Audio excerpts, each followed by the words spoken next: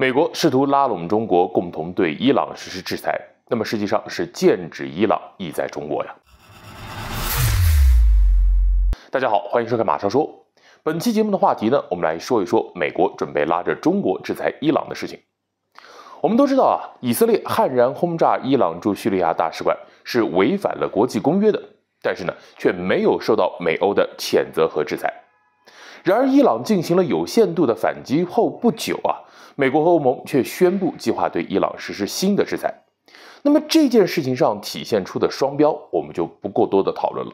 毕竟美西方的嘴脸我们都习惯了。那么我们今天要讨论的是美国接下来的操作。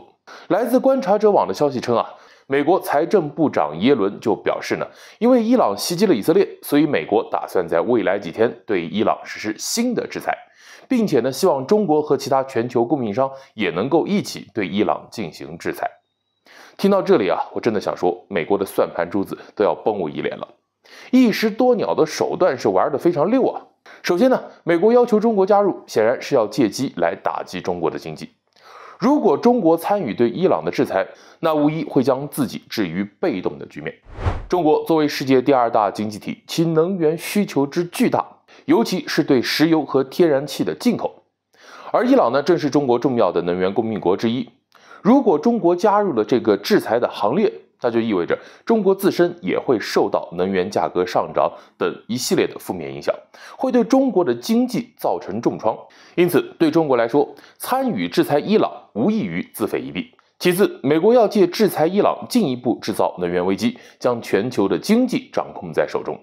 我们知道，制裁伊朗呢，实际上会对全球的经济也会带来一个深远的影响。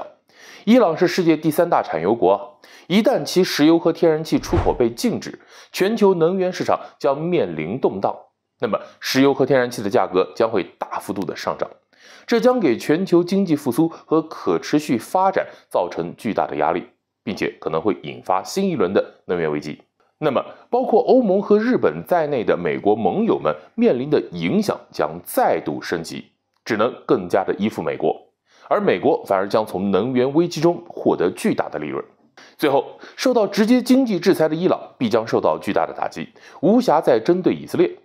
美国和以色列的关系啊，我们都清楚，美国在中东的基本盘靠的就是以色列。一旦伊朗受到制裁，将大大的减轻以色列的压力，美国在中东地区的利益也将稳固下来。实际上，类似的手段，美国一直在使用。比如说，俄乌冲突实际上就是美国打着一石多鸟的算盘，试图通过战争达到打击俄罗斯、欧盟和中国经济的目的。只不过呢，他的计划没有取得预期的效果，俄乌战争没能使俄罗斯和中国的经济受损，只有欧盟成为了美国的牺牲品。所以现在呢，美国试图重演类似策略，继续制造危机。美国的算盘打得很好，但是呢，我们不会上当。我们回顾一下，四月十五号的时候，我外交部长王毅同伊朗外长阿卜杜拉希扬的通话，就会知道中国对伊朗的态度是高度认可和支持的。毕竟我们也有着被美国轰炸使馆的血泪回忆。那个时候的中国腰板还不硬，但是今时不同往日，有些债是要讨回来的。所以无论是从未来的发展来说，还是从历史积怨来说，美国这次对中国的算计是必然要落空的。好了，本期节目呢，我们就讨论到这里。大家认为美西方发起对伊朗制裁之后，中俄伊三国会不会进一步的加强合作呢？欢迎在评论区留言讨论，别忘了点赞转发。我们下期再见。